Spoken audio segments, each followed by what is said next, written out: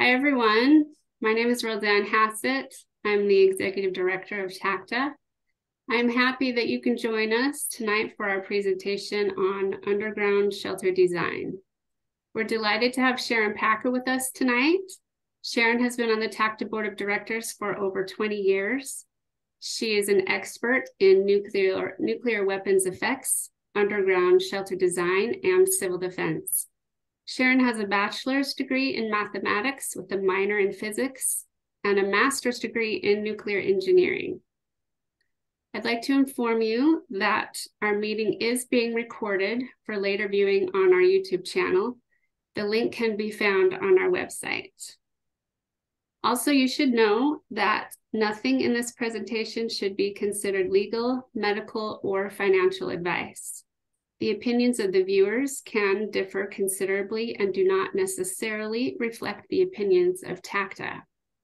You should always do your own research and consult with professionals.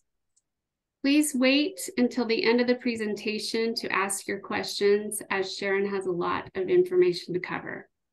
Feel free to also use the chat feature and we'll do our best to get those questions answered as they come up. With that, I will turn the time over to Sharon. Thank you so much. It's a pleasure to be here. So um, we'll just get started real quick. Um, why do we shelter? Well, natural disaster, man-made, all hazards of every kind, major sunstorms, earthquakes, tornadoes, hurricanes, wildfires, high winds, pandemics. you, know what it is. so if we want to do all hazard sheltering, if we're prepared for nuclear, then we're prepared for all hazards if if we if we place our shelter correctly. So we are prepared in, in a good nuclear shelter for EMP, for terrorist attack, for nuclear war, for home invasion, for anarchy, and so, how are we going to find some expedient sheltering if we don't have a hardened shelter? And so, expedient sheltering isn't going to be all hazard sheltering, but for those of you who don't have a shelter or can't afford one right now, let's kind of just talk through it. Um, when I was going to school um, at the university, we had a, a, lot of pipe chases between the, the buildings. And so I got down in those pipe ch- chases and I took the other engineering students with me and we went all over that campus, well underground. And I thought, what a perfect place to shield, probably from a fairly decent blast as well as a lot of radiation. So look, if you have to find expedient sheltering, kind of think ahead and think, well, where are the tunnels? Where are the pipe chases? Churches often have them under their uh, under under the churches. Hospitals have uh, corridors and pipe chases between the, the hospital buildings. Schools sometimes do, universities always do. Um, look in uh, the possibility of using basements, mines, caves, subways, and uh, a lot of the countries are using their subways as uh, as disaster shelters. They prepared their subways for disaster shelters. Uh, culverts, boiler rooms, armories, underground hospital corridors, underground parking garages. There's a lot of places that you can go to get protection. And if you have a basement, you can certainly build some expedient sheltering into that basement by having a really good table. I think we've talked about this before and adding shielding on top of those tables and around the table for a period of time. In a safe room, safe rooms uh, really are not designed usually to be an all hazard shelter, but I wanted to talk about them a minute. Now, this is a safe room I built. Um, it's behind this bookshelf.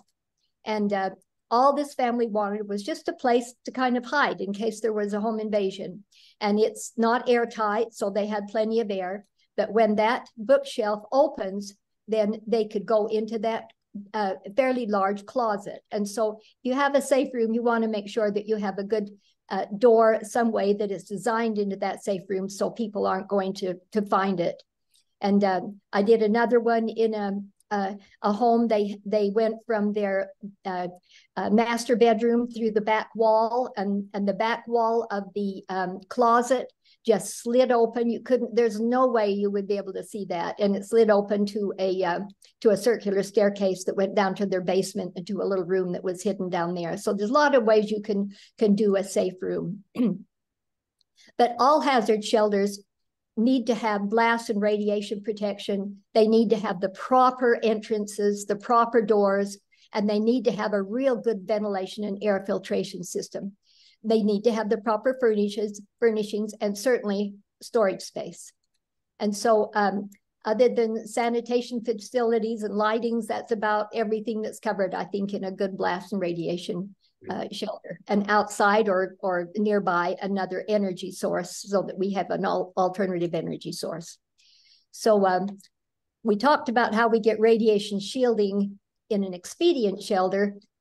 Uh, putting water and food over the top, books over the top of our, our table, dirt or sandbags, concrete, concrete blocks. so I got that out of out of order just a little bit, but I did want you to see some of the things you can do for that expedient shelter. Uh, there shelters uh, we can you know we can do concrete shelters and uh, steel shelters of several kinds but concrete shelters have to be have massive amounts of rebar and probably 10 to 12 inches of concrete in all the walls and more so in the ceilings. But these this rebar, see how it's tied together. And every place you turn a corner, it has to overlap and tie. So that it gives it the uh, concrete wall the ability to move and bend under blast and earthquake hmm. um, situations. Uh, this is a small family block shelter. And um, I think FEMA designed this. And if they have the proper entrance, now see this little entrance here, that's not a proper entrance because the radiation is going to shine straight down. But if it were over here and came down and then in with a 90 degree turn, this would be a properly uh, designed shelter. But uh, a lot of people want to put them outside where they can uh, have uh, space overhead and, and uh, concrete or some kind of a little patio concrete shelters, um, sorry about that. You have to be careful when you design them. And uh, I don't know if you can maybe see uh, this whole slide. I, the pictures are kind of in my way, but um, in a one-story home, you've got you've already got a protection factor of about five or ten in that basement. So you need more protection in the ceiling thickness. So for a 15 psi, which is one atmosphere, you would need 14 inches uh, of dirt or of concrete in that ceiling. And a lot of people say, well, I've got eight inches. Well, eight inches is not going to do it. So in that eight inch ceiling, they're going to have to get their, their table in there and put further shielding on it for the first two days. Because in two days, you lose a hundredth of the radiation you, you lose down to a hundredth of the radiation that's left. So in seven hours, you lose 90%. In two days, you lose another 90%. So if they could stay in their little table, under their table for two days, they would be okay if they're having eight inches uh, or 12 inches in a one story. In a two story, they still need about 12 inches for minimum blast of 15 psi. Now, a 45 psi blast, the home is not going to survive. So they can make it heavier that this whole shelter would have to ride independent of the home. In the walls of a concrete shelter, that, uh, on the entrances, you can see this little overhang here, and that's to protect against the debris field because all of our doors open to the outside. They rest against the wall. And that's because the blast then would push that heavy door against the wall instead of just against the um, the mechanism that closes the door. If they're interior to the door, then um, then the blast can push the door in. So we want the doors on the outside, but then you have to protect against that debris field. So this is the plan view. So we're looking down now on that overhang. On this one, there's a little hall that comes through. Oops, let's go back. It comes through here. And so you would walk in here and then turn a 90 degree turn. And this is covered with concrete. So the debris field might be out here, but this is how you would get in.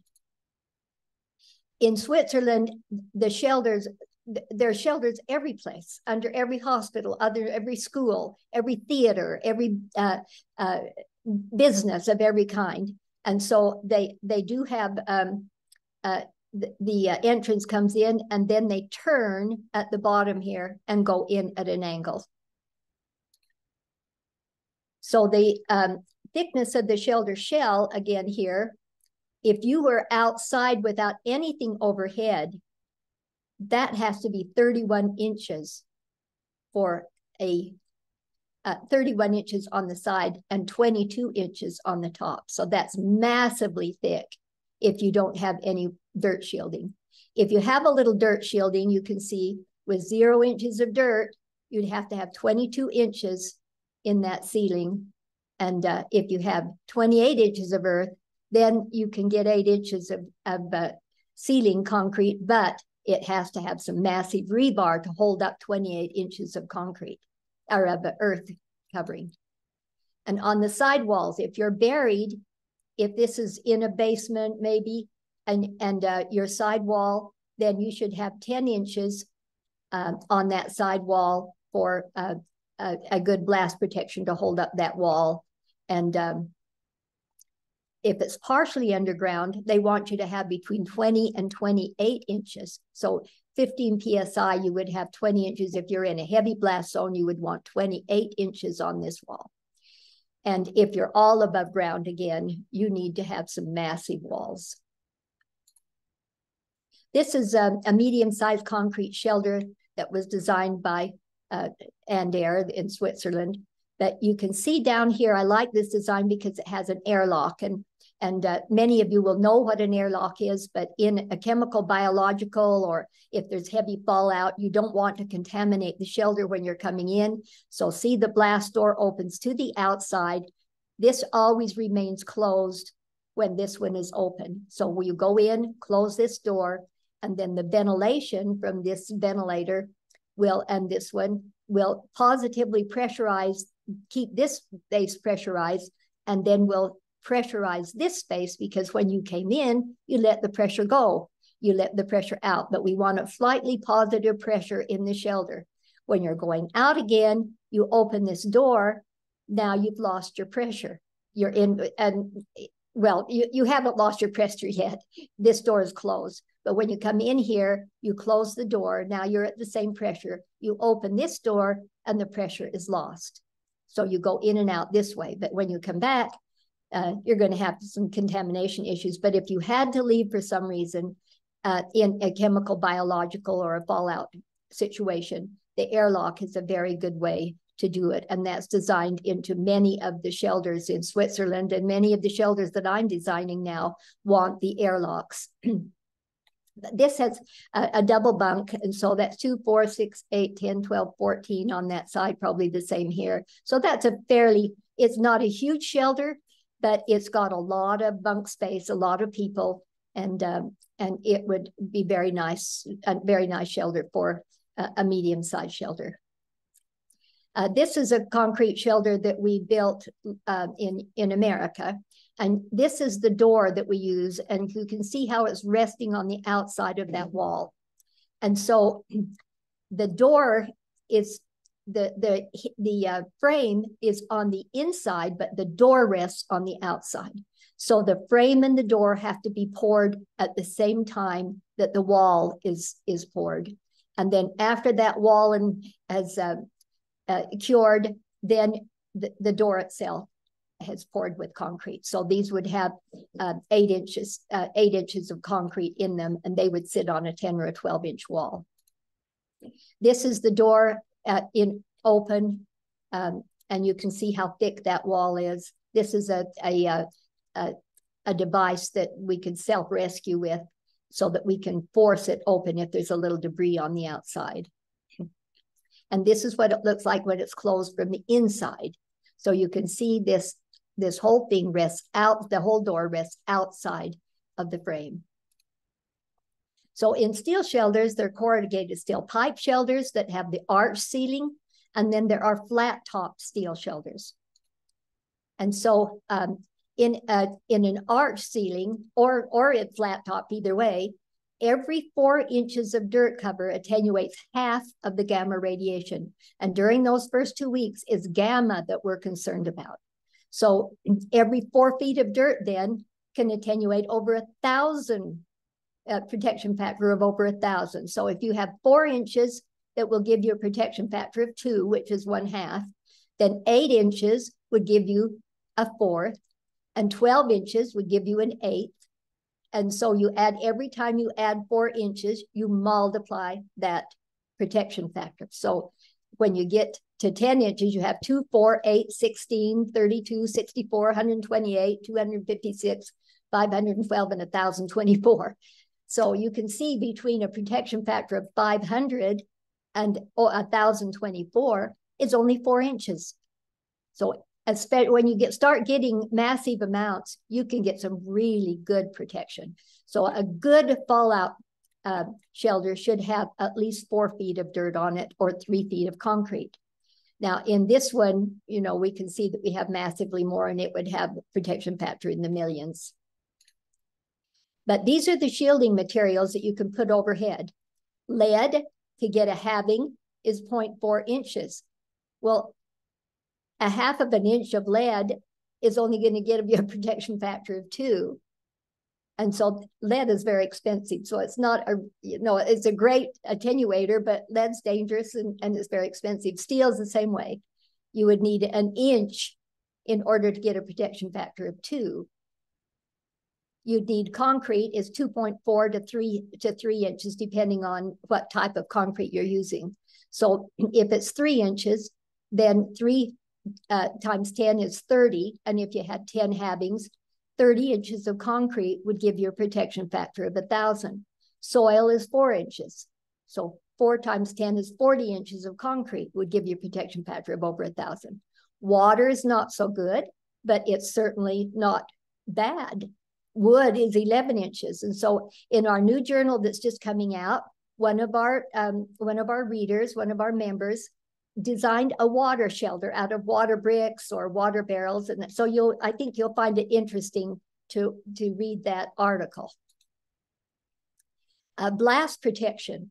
Now in an arch shelter, shelter, you can get 150 PSI protection. So that, that is, you're protected within a quarter mile of the crater edge of a one megaton blast. You're still part of the fireball. And so that would be a very heavy blast area, but you would survive in, in uh, this if it's done correctly. So you have to put crushed rock all the way around it.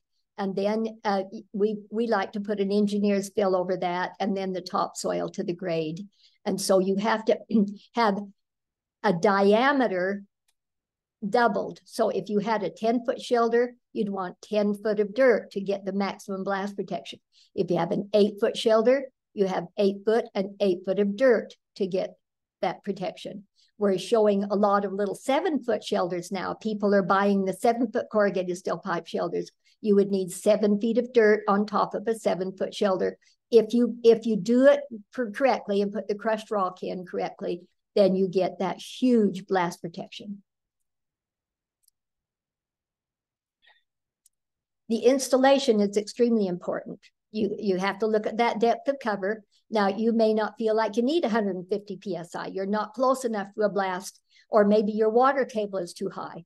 But you've got to make sure that you don't get below into that water table. You have to have a dry hole, and you have to have an installation that's not going to be in an area where you're going to get a lot of water settling, like in a culvert or in in a on a hill that kind of comes down together it, you you can't you have to put it where you're not going to get runoff uh, you have to totally remove any clay that's in in that hole. And so you would if you had clay you'd want to remove all the clay and then beyond that by a couple of feet on each side and then you'd have to have new dirt come in. And you have to backfill with crushed rock and uh, that crushed rock is uh, three quarter inch minus crushed rock. And it's that clean crushed rock that they use in concrete. So here's, we've got a 10 foot diameter in this hole. The hole is 20 feet deep. And we're pouring that crushed rock on the top off of, out of a, a big track hole. And you can't do this with a bobcat, so don't try but the backhoe pours it here and then it comes down on each side evenly all the way so that you don't load one side heavier than the other side because if you do it will roll and it'll roll out of shape so you have to very carefully fill it all the way over and back and forth until it's filled This is almost filled at this point. You can see how they're filling and filling and filling. So this is a, a, a, large family corrugated steel pipe shelter. I thought you'd like to maybe see some pictures of it. It's 12 foot diameter and 50 foot long.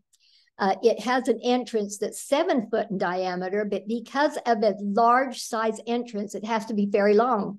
It has to be 26 feet long, where if you had a 48 or a 54 inch entrance, then it would only have to be maybe 15 feet long horizontally. And so um, it has some fairly wide halls inside. It has four feet of storage space under the floor. It's kind of a condo style. It might be a multi-family. And we built a few of these, but um, my favorite is a 10 foot. But I just thought I'd show you this just for fun. This is the bunk room. It had bunks on either end. This leads out to the entrance, and this area is the bathroom. Uh, had a nice size uh, area for a bedroom, had a queen size bed and the kitchen on each side. Had a, a little kitchen table in there, had the kitchen all the way across on both sides, the sink on one side and a prep area on the other, and uh, and a little uh, uh, sofa area. And then the ventilator was on this far end over here. So on these steel shelters, we on any kind of a shelter, I highly recommend that you don't skimp on your shelter on your entrances, but put in two two entrances and uh, they should have a, both a vertical and a horizontal leg to that entrance. So that properly attenuates the radiation. So if you have a vertical leg coming down, then 90% of that radiation, if it's a fairly slow, if, uh, short, uh, I'm a small diameter, 90% of that radiation coming down will be lost. It just keeps going right on through into the ground, and only 10% turns the corner. So when we're going horizontally with that 10%, then our formulas show that you lose almost all of that 10% horizontally before you get into the shelter. So um, if you're coming straight down on the top, then you're not going to have that 90%. It's just going to come right down on top of you. So um, so a minimum between the vertical and the horizontal, we like to see a minimum of 22 feet. So that's the total of both the vertical and horizontal leg. And then of course, blast doors. So this uh, shelter, this 10 foot shelter has entrances on each side. So this one would be maybe a little wider. It might be the entrance and this might be the, the emergency exit. And uh, this is the plan view. So we're looking down on top of it. You can see how it comes out and then it turns up. And turning up, we want it to turn up at about a 60 degree angle in order to safely come up and down the stair ladder. And the same here. This one might be a, uh, the emergency exit might be a vertical on this one, which is okay because you're not going to be using that emergency exit uh, much. But a vertical entrance is kind of nice when you're lowering heavy things down into it, your sacks of grain and heavy things. It goes down a little easier if you have a vertical run there. This is a picture putting on a an angled entrance, and it's coming off of the end of a, of a corrugated steel pipe. You can see how it, the elbow comes, and then the the uh, another vertical piece will go on top here and band together. So they're banding this now onto a little stub out. That stub out comes out about a foot, and um, and so um, they'll band that with a gasket and again here until they get to grade. Now we put these corrugated steel pipe entrances on concrete shelters as well and on flat steel shelters as well. And uh, they're really nice because of the attenuation. They're the least expensive concrete. If you had to make that concrete uh, entrance like that, it would be extremely expensive. A lot of times we'll put these into basements of homes and uh, so a corrugated steel pipe entrance, we're nearly always using those in concrete as well as steel design. The flat top shelters, however, you can't not put the same amount of dirt on top of a flat top shelter. It just won't hold it. That arch is the most, uh, is the strongest uh, geometry. So the flat top shelters, um, they they have to really reinforce them heavily, and then that starts getting quite expensive. Uh, flat top shelters, of course, have the, the nice flat ends and, and, uh, and it's easier to put in um, your, your furniture and your kitchens and things. But uh, uh, it, it's very difficult to get really good shielding and blast protection in them. This is a hatch door that we put on top of that corrugated steel pipe entrance. And once it's it was flat like this, there's no drag from the blast winds. This is a, we call it a little dog house because it covers our lock. We could have a little puck, uh, puck lock in there, and and it's been quite safe. And so uh, when we open that door, uh, then then uh, these lift assist opens and we do have these doors readily available in a number of companies that I've seen and I'm building them again now too. And then of course you enter here and down the staircase. Now this particular one is almost flush to the grade, but it does have a little bit of a drop. So water falls away from that on the concrete. But it's easier if you're not in a heavy blast zone to raise that just a little bit so you can sit on the side and then get in rather than kneel down and crawl in. This is the ladder, the, the stairs that come down from the top. So we're looking from the shelter up into the, into the upper part. The ventilation systems are extremely important. Uh, I like to have the steel pipes coming in uh, I like the uh, six or five inch schedule 40 steel pipe. And a lot of people say, well, why can't I put in PVC? Well, we don't want to fight a nuclear war with a plastic pipe. we really need to have a good, strong steel pipe. So um, this comes in at about seven or about six feet from the finished floor.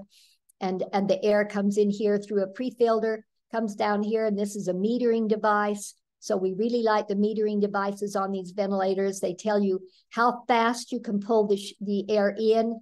And, um, and when you're doing it manually, when you're working this manually, then it's important that you don't bring the air in too fast because then it has to have the, the right length of, of time in that chemical biological filtration area with the HEPA and the charcoal filter. This, it, in a chemical biological attack, this would, the clamp would come off and then this part goes here and this part goes here. And so then the air is forced down through here and up through here and the air exits here. There's a number of people that make these, uh, but they're all European. This one is made by Andair in Switzerland. Uh, Lua is about, it's almost exactly the same as eyes, but it has a design, but it has, they all have to have the same standard. And so there's a number of them that you can buy, but we feel like it's extremely important that they run electrically as well as manually. So you would turn this, now this, this nice big filter like this, you would, if you were doing this manually, each person would have about an hour a day on that manual pump in order to keep enough air in there for you to breathe properly. In the, the uh, smaller units, you have two hours a day. In the really small units, you would have four hours a day. So it gets a little cumbersome.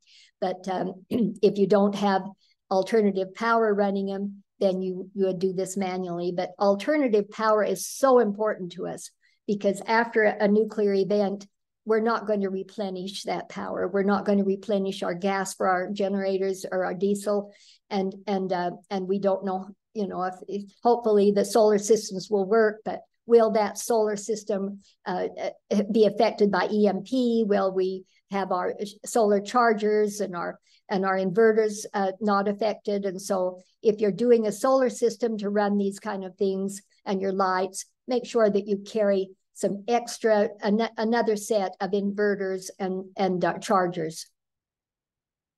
So uh, it does run electrically and manually, has the blast valves on each side. So this acts as a blast valve here. On the other end of the shelter, it will have another blast valve and as this positively pressurizes the shelter, this other blast valve just breathes a little bit until it still keeps about 200 pascals of positive shelter uh, pressure in there. And so uh, that always keeps that pressure. And then we want steel air vents. And then the HEPA and the charcoal filters. The pre-filter is very important. It picks up those larger pieces that are coming in. And so um, it's all lab tested and, and does a beautiful job. Um, the, the air pipes, sometimes people want to hide those air pipes. And so sometimes we put fake rocks on them. This one has a bunch of holes on the other side, and we just cover that air vent with, with a fake rock.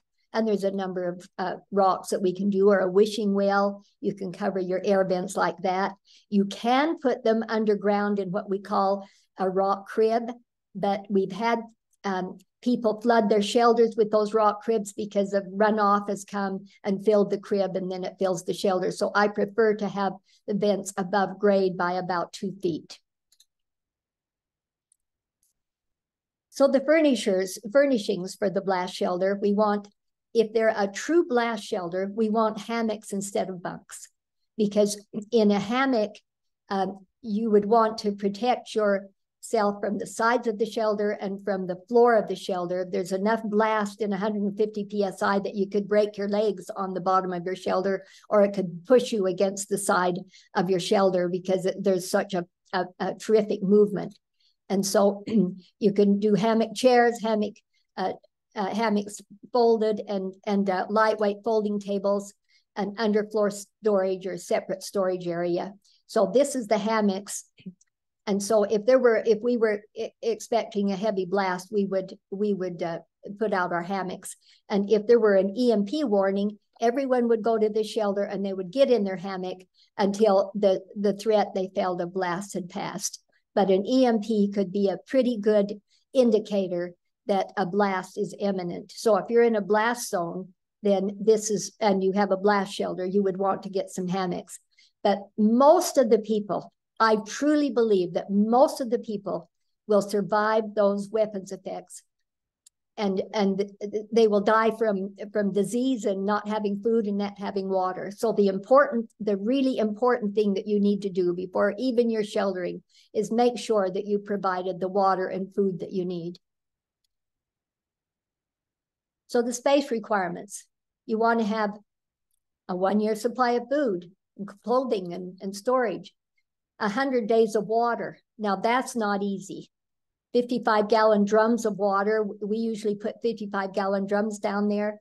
And, and I like to have a 55 gallon drum for every person that's in there. So if I had a 24 person shelter, I'd put 24 drums down there of water or, or maybe the 30 inch ones. In a 10 foot diameter, I can put 30 inch, uh, I'm sorry, uh, 30 gallon water tank uh, uh barrels under the floor and then 88 cubic feet of free airspace per person.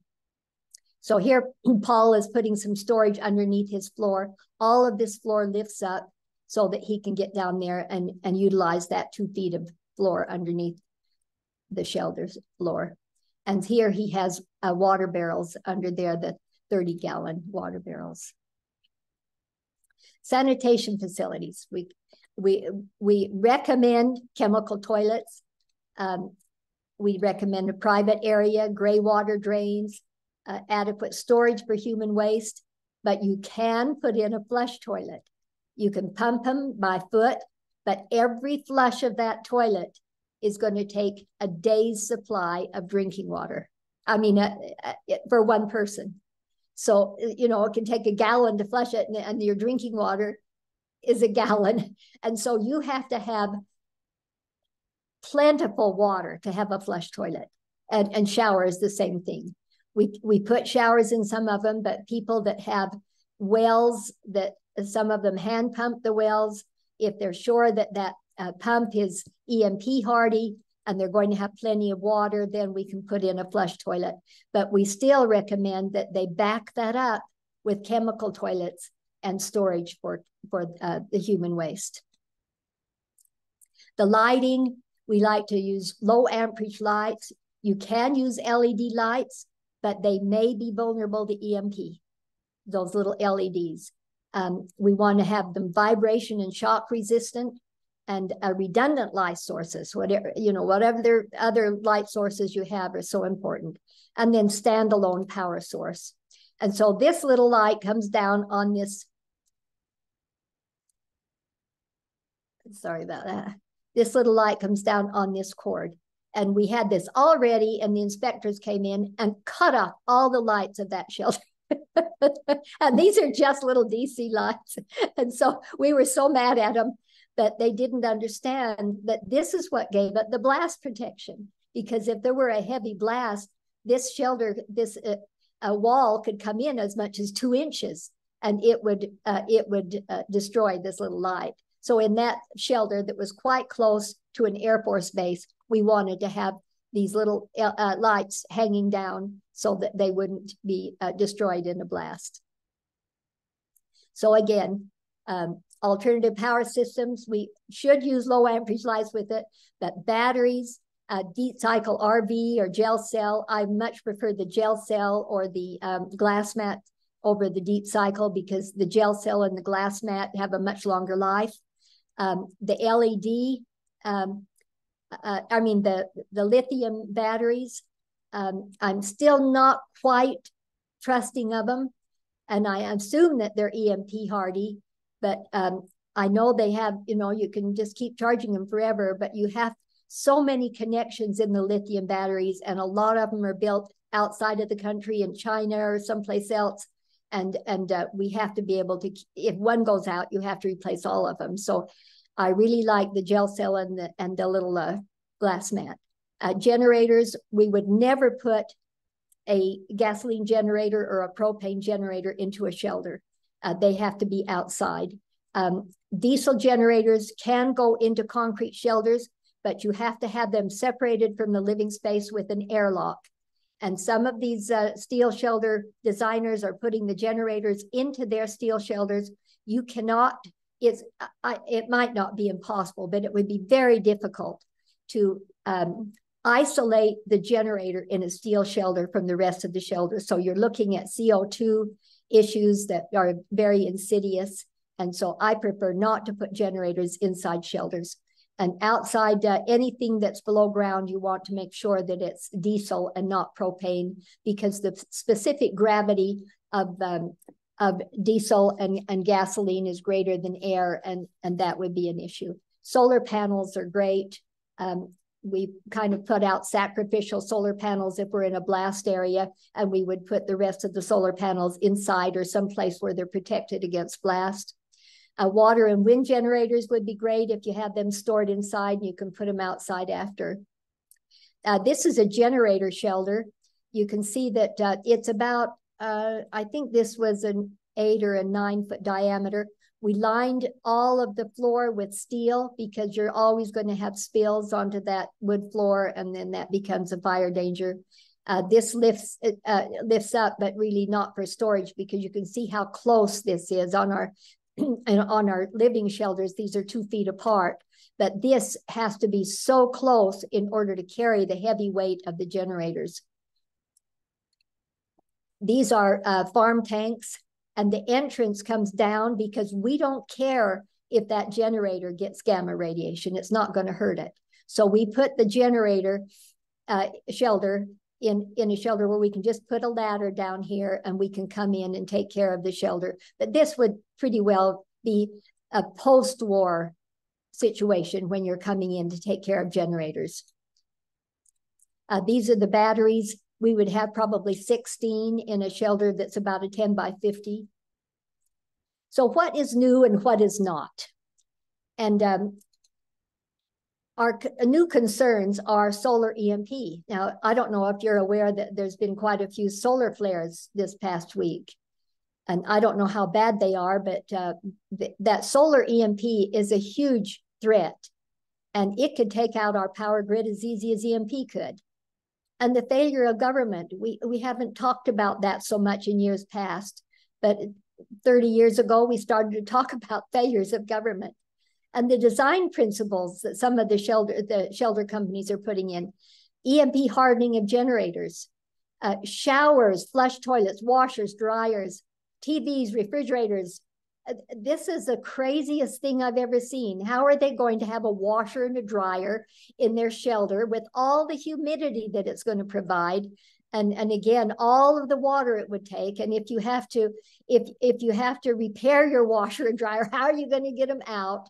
So we highly recommend that this new development of putting all of these fancy things into the shelter is not done. That that you keep it simple TVs, refrigerators, that all should be simple. You could put a small refrigerator in there for peacetime use, but uh, don't depend on it for, for afterwards. And the very large diameters, those 12 foot diameter shelters, They're very difficult to install. They're very expensive to make. They're probably twice the expense of a 10 foot shelter, and you don't get that much more for it. You don't get that much more usable space.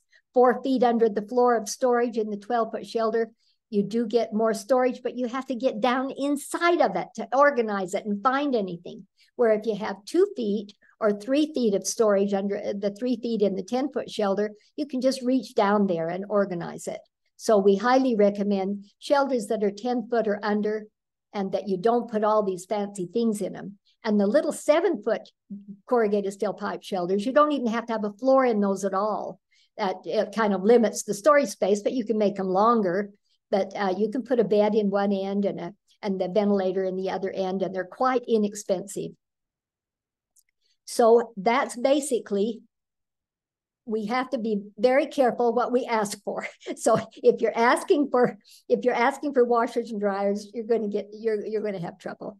Design to your threat and means, and and uh, it would be wonderful. I wish every one of us could have a hardened blast shelter, but we're not all going to need it if we're not in a blast zone, and we're not going to be able to afford it. Uh, a lot of us. So design to your threat and economically to your means. Prepare carefully and do it now. And so I've left enough time, about 15 minutes, that we can have questions now and we can revisit any part of this uh, that you would like. And um, so I'll open it up to questions.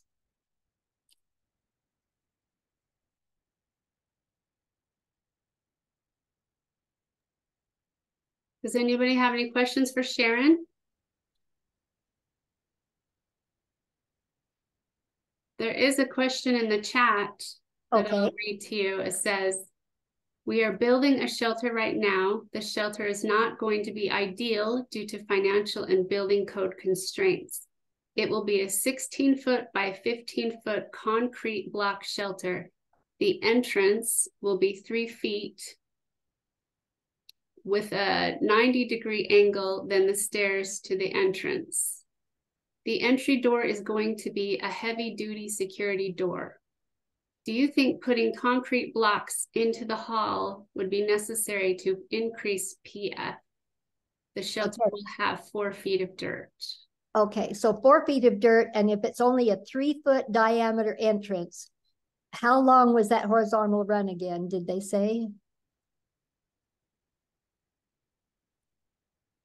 there's like there's something blocking part of it so i can't read it but it says the entrance will be three feet i'm assuming that's diameter it uh-huh. might be typo i'm not sure with a 90 degree angle then something's blocked the stairs to the surface uh-huh okay and so uh, if that hall is long enough if it's uh, 12 or 15 feet long, then you don't need to block the other side of the entrance. So as you come in, whether you're coming down or in from the side, you come in, then, then if it's a little too short, then you can put a block in front of it so that you have to enter around that block entrance. So you want to make sure that that entrance is, that's where most of the radiation will come from, from the entrance.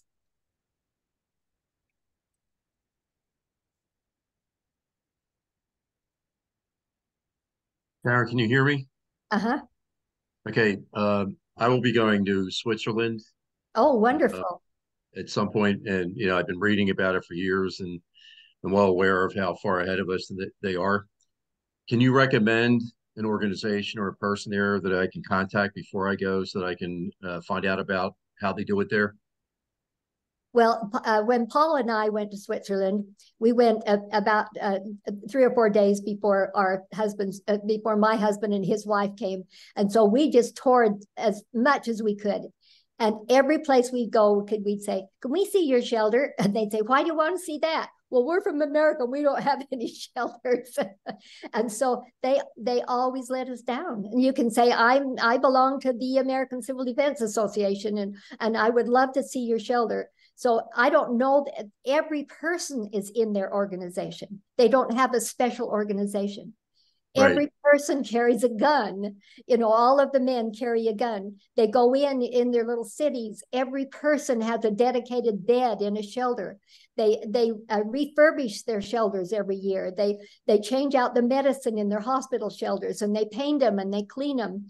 And so every person is in that civil defense organization. So any place you go, whether it's a theater, whether it's a commercial building, whether it's a hospital, whether it's any place, uh, they showed us. I'm assuming that they would show you too. Where, where Oh, that's great to hear. So you're saying you didn't even contact anyone before you went, you Uh-uh, just went No, but and then course, asked as you were there. Okay. yeah, but of course we Right. had Andair that we were talking to too, and they took us into the military shelters, which was really fun. But I don't think Wow. you get into military shelters. But Andair took us, and then they said just go around and look at them, and every place we went, uh, uh, and literally every place were shelters, Oh. and most homes have them, and if they don't, they have a public shelter within just a very short distance Oh, that's great to hear. Thank and, you. and other countries as well. We're so far behind. And Oh, the yeah. only way we're going to get them is to demand that we get them because we get what we ask for. If our if the leaders of our uh, of our government they don't hear what we want, then they're going to give you know what they think We'll get them reelected. So we have to voice loudly that we want a shelter program, and maybe someday we'll get one. But the government is not being upfront with us either. They're not telling us the real threat. And they're not telling us about their beautiful shelters either. Well, there is an Air Force general that's uh, warning us every day that the CCP is going to move in Taiwan soon. So, and uh, I, I take his word. He's a good general. Yeah. Well, and and they some of them will will tell us the threat, but they're not saying, "Hey guys, go out and get a shelter," or "Hey, we'll give you a good tax deduction for it." So I Right. don't know. I just don't know what the answer is. We've been trying for 30 years and longer. I mean, six, 1962, 60 years. TACDA started trying. Mhm. Here's another question. Someone wants to know what is the average pricing on things like this? Okay, so uh, concrete shelters, um, the concrete is really expensive. It's more expensive than steel. But a lot of people can do their own construction. And so that limits the expense. But a great big 12 footer like I was showing you earlier, which is really overkill, but no, that that's what they wanted. But uh, that 12 footer probably by the time you get it um, trans transported to you and installed, because installation on the 12 footer would cost 15, 20,000. It would be, you know, 150, 180,000, maybe more. But the 10 footers are going to be considerably less. Seven footers, if you will do the work yourself, uh, X factory, we can get for about 30,000, the little seven foot shelters, but you still have to put in a ventilator indoors. But, uh, but about 30,000 will get the tank and the entrances and the entrance uh, stub outs and, and all the gaskets and everything, maybe even less, 28,000, something like that. But you, you have to put in, you know, you don't need a floor, but you'd have to put in, you'd have to install your own ventilator and, and do a little work on it. Question by Mark. Go ahead and unmute yourself, Mark. Yeah. what would you say about um, concrete pipe or a, a shelter? Um, well, if it's reinforced, but I, I don't know if they do reinforce the concrete pipe. Um, it's, it's hard to get an entrance on it, um, because if you put the entrance on the side, you've got that, that curb on it. If you put a concrete wall on the end, you could still put a corrugated steel pipe entrance on it by putting a, um, a flange around the pipe and then bolting the, the, um, the flange into that concrete. Um, um, but the the little concrete septic tank, somebody said they wanted to use that. Um, and uh, I think they they won't give you the protection that a good rebar concrete will, but they certainly would. Uh, septic tanks are fairly close to the surface too. They don't have a lot of cover because we just we need to clean them. So a septic tank fails at about five psi. But if you were able to get a concrete tank a little deeper, that I I would need a I have a good civil engineer look at the concrete and and the design of the concrete before I could recommend it. Also, um, how long would it, you expect a a steel uh, structure to to last? I mean, you know, it's made of uh, what is it? Can't can't think of it. Anyway, the layers galvanized. Uh-huh. It's galvanized. galvanized. Uh-huh. Uh, we just dug up one that we'd had in the ground. We we didn't dig it up, but it been in the ground for 25 years because we wanted to put in a, a, it was just a storage shelter and we wanted to put in a ventilator in it. And it was as shiny as when we put it in. I could still see the writing on the sides. But if you're running water through a corrugated steel pipe, then then um, you're going to get electrolysis and you're going to have uh, uh, rusting but we're not putting water through our corrugated steel pipe and we're not putting it in the water table. So there's really no reason for the galvanized corrugated steel pipe to deteriorate. So I think we will get decades out of them. We've had some Thank of our for quite a long time and they're not showing any sign of rust or or deteriorating, but you have to be careful that you don't weld on the sides. Uh, somebody put in one of the corrugated steel pipes uh, shelters, and um, instead of bolting the the uh, floor to the to the bottom, they they welded a piece along the bottom, and uh, and the welding burned off the galvanizing, and in five years that's going to rust out, that's going to weaken it, and it's going to split. So don't weld on the corrugated steel pipe. You can only weld on the end where you don't have the corrugations. So the end, you know, you can put a good good heavy steel plate on the ends, but uh, don't weld anything against the sides because those corrugations are about every mm. three inches. And then you can only weld about every three inches and it just isn't strong and it, and it weakens the structure. I know a lot of the, uh, uh some of the uh, steel plate people really fuss about corrugated steel pipe, but the only pipe that I have ever seen rust out is the water pipes. And, and even then, you know, and you look at earthquakes all over Alaska, they're not replacing those corrugated steel pipes. They, they've got thousands of feet, tens of thousands of feet of corrugated steel pipe all over Alaska. And they're not replacing them. They're just fine on years and years and years of service. Great. Thank you. We have a question from Gatlin. It says, I have two questions how long would alpha particles linger after nuclear war? And should people shelter in place or evacuate if a commercial nuclear power plant had a disaster? Good question. Thank you for asking that. Um, the uh, first of all, the the power plants, uh, if there's a disaster there, and you know, we're we're downwind of that, we're really looking at an issue with iodine 131, and the iodine has a half life of about um, nine days. And so after 90 days, then you've got 10 half lives and it's no longer an issue. 10 half lives of anything.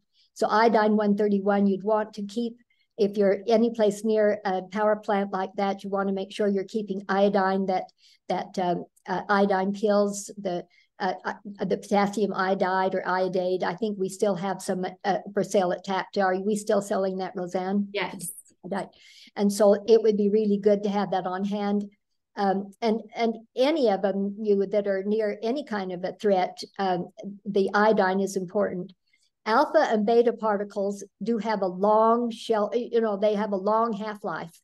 Uh, some of the betas are very short, like like the iodine 131, but they have a much longer life than the gamma. The gamma is gone. Uh, much of the gamma is gone after about uh, two weeks but the betas and gammas i mean the betas and alphas they they deteriorate and they cause a gamma also. So that's just all part of the same issue. But um, we want to make sure in our post-war preparations that we know what kind of things we can eat um, because we're not going to outlive the life of those alpha particles and those beta particles. They're going to be long long there after we're dead and gone. And so um, even the next year after harvest, you you can uh, right right after harvest, you can you can dig up potatoes and peel them and eat them. You can peel carrots. You can peel apples. Uh, you, you, can uh, anything that has a hard uh, uh, skin on it. You can wash it or peel it but strawberries and raspberries, you know, they I wouldn't be eating those, and and uh, because they would have fallout on them. But the alphas and betas, they do work their way down into the soil after a while with all of the rain and the and and the weathering. But um, for the first couple of years, you probably don't want to to plant um, uh, calcium, high calcium producing food um, because um, the calcium looks very much like um, um, radium. Yeah, and like what's the other one? But anyway, the bones, the bones want calcium, and they can't tell the difference between that and strontium 90. And so strontium is going to go right to your bone. And so um, if if the calcium producing foods pick up the strontium instead of the calcium because they don't care what it is, it looks the same and it gets into our body, then we're, it's going to go to our bones. So be careful that you're not eating food that has grown on an area where there's a lot of fallout that, that might produce calcium. Um, and um, uh, fish are, are good. You can eat fish if they're uh, the top feeders, you don't want to eat carp and and uh, catfish because they're bottom feeders because those alphas and betas are on particles and they will go to the bottom of the pond. Um, uh, eggs, you can eat eggs. Uh, it's the, any radiation will be in the shells, so the inside of the egg is fine. Um, any any animal that isn't sick, uh, you can slaughter and still eat as long as it's not showing sickness uh, but you don't want to eat the organs. You only eat the meat and strip the meat from the bones because they may have been foraging on areas where power the the uh, iodine 131 could have been falling and they could have eaten it and and it could be a problem to you. But you have to watch what you eat and wash things and be very careful to wash any wounds and keep it out of your eyes. But um, uh, I think after two or three weeks in almost all places, we can come out and start living and and again if you're in an area where you don't see a lot of dust coming, you you don't have fallout. Fallout looks like dust, and and um, so if you're having you know quarter of inch of dust falling, you're you're getting fallout, and it, it could be significant amounts of fallout. But if you don't have any dust falling, then you probably don't have much fallout. But I would highly recommend that you get some kind of a metering device so you know so the low rate dosimeters and meters that read in milliroentgens, and we've got an article on this at this time in our journal, but the milliroentgens is not a whole lot of good during a wartime situation, but post-war situation, you want to know if your food is contaminated, and you can find that out with your little uh, with your little milliroentgen meters and, and dosimeters. But the the uh, high rate meters uh, up to 200 Roentgens or, or rads. They're basically the same when you're looking at that nuclear um, uh, event. Then, then the dosimeter should read at least to 200 rads, and the meter should read to 500 rads. And so we have a penalty chart coming out in our in our journal that's just about ready to come. Uh, penalty chart and and uh, some information on dosimeters, and we're carrying the dosimeters now in the TACDA store. They're hard to find, and Roseanne was able to search out and find some high rate dosimeters for us so that we can purchase those. Thank you. We have another question by Stephen. He says, do shelters need to be underground? I live in Houston and we're very close to sea level.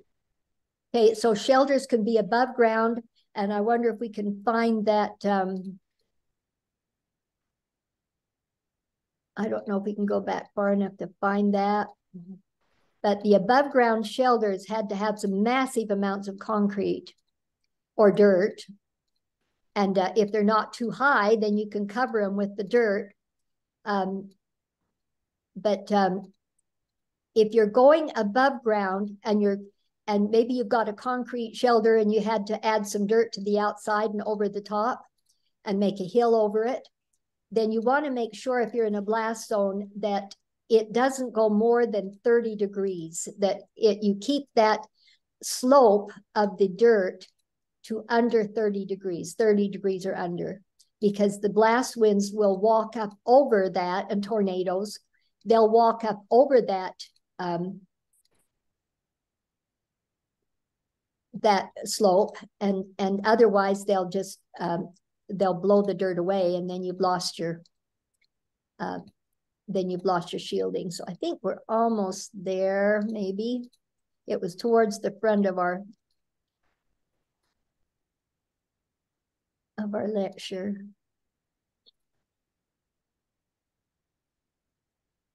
Almost maybe. Sorry about this it's taken a long time Okay, that was, so see this D2 here? 31 inches on D1 and 22 inches on D2. And so if you, and then if you had it a little thinner and you put a dirt a mound up over that, you know, you want to keep those, that dirt at a real nice slope. So maybe you can go partially under the ground and then, and then put the dirt mound over the top, but you still want to get your entrance at an angle. But you can do this if you have enough concrete. What about um, shelters inside your home? What if you don't have room to build something in your yard? Okay, and so if you're if you have a basement, then uh, you can certainly build the shielding around you in a basement. You look at the the uh, uh, the corner that has the most dirt cover on the outside, and it's away from windows or windows you can protect. And then you want to get shielding from the bottom up. It's a little hard to. Uh, some people have tried to put shielding into their ceiling, uh, but that ceiling hasn't been designed to carry that kind of a load, so I would worry about it. But you can build from the bottom up if you have massive um, uh, four by fours and and and you're holding up uh, another ceiling and put uh, put shielding over the top of that sandbags or whatever. Or if you have a heavy heavy table and and you put uh, uh, shielding over the table and around it and try to get a little angle going into that still even still but if you're in a basement you can do that upstairs you want to shield in the inner part of your your home keep it away from as many areas that have windows and doors as you can um, place as much shielding as you can around you. And in low radiation areas, people are going to survive if they just get minimum amount of shielding. So just put whatever you can. I would I would pull up everything I could find to put around an area, whether it's mattresses, couches, books, everything you can to to pull that around. And especially if you have water storage, that little water shelter we talked about with water bricks. If you have a, a garage, you could fill your water bricks early and, and build your little shelter out of water bricks and then put them on top of, of the heavy little uh, uh, covering that you have. But if you have to sit under there for two weeks, you're safe. You know, it wouldn't be comfortable, but but you would survive. And so uh, look at getting shielding wherever you can. George wants to know what is the distance from ground zero in your shelter examples? Uh, from ground zero, it was about a half mile. Let's see. Yeah, it was a quarter mile from the crater edge and a half mile from ground zero in a one megaton weapon. So that would give about 200 psi. They've told us that we'll we'll survive at 200. I like to say 150. But if you sit against the wall, you're not going to survive. If you're standing on the floor, you're not going to survive because those doors, those floors and walls and ceiling will come in two or three inches at, at, at an acceleration that could kill you or break your legs. So you have to, if you're close like that, you have to be able to get in a hammock to survive that kind of blast. And the doors, the hatch doors have to be protected from the thermal pulse. So if you are doing a shelter like that, you want to consult us so we can tell you how to protect your steel doors because uh, your steel hatch doors, uh, they will burn also. But it's such a fraction of a, of a minute, it, it's just seconds that that thermal pulse will burn. And so you put a sacrificial cover of wood over your steel door and the wood burns, but then the steel doesn't. So there's things that we can do, but if you're that close, you probably would have to have the um, the rock cribs where your your steel air uh, air pipe is below grade and rocks are on top of it, and we can show you how to build those um, rock cribs. But then, of course, you have to protect it close uh, from from water invasion. But those are the ways we protect the uh, the shelter in high blast areas, and we were told this by the engineers at the Nevada test site. They tested these concepts. They tested the corrugated steel pipe shelters. They, I don't know how we were so fortunate, but they gave us every formula, every design. None of it was classified. They just handed it to us. And so we know that all that has been tested under actual blast and radiation conditions. There's a question about iodine from Steve. I recently saw mentioned that for people over age 60, taking iodine after an event is not needed. Any comments on that? Uh, it's, probably not recommended either. Um, I I think that it probably it would be so slow growing that uh, you know that it may not be an issue. If you're real healthy, maybe you'd want to anyway. I don't know, but um, the iodine, you, you, certainly don't you want to be taking it now in case you think there might be a blast. Wait until, you know, that's a medicine and you don't want to be taking it all the time. But um, if you have thyroid problems, you don't want to take it and, and uh, you probably ought to consult your, your uh, doctor if you're over 60. I don't know that I would. I don't think I would take the iodine. Okay, from Peter, does it need to be planted at a certain depth to protect the root vegetables from fallout? Um, the root vegetables, I don't think that it, it matters. Uh, you're going to, uh, even if they're outside and gathered some fallout, you can still wash them and and uh, and peel them. So uh, I think that you're fine. But if I were going to plant them the next year, I'd want to make sure that I had cleared the ground and and uh, had uh, maybe six inches of topsoil pushed off so that I could get to cleaner ground. But um, if they're calcium producing like broccoli, things like that, then you might want to wait to plant that.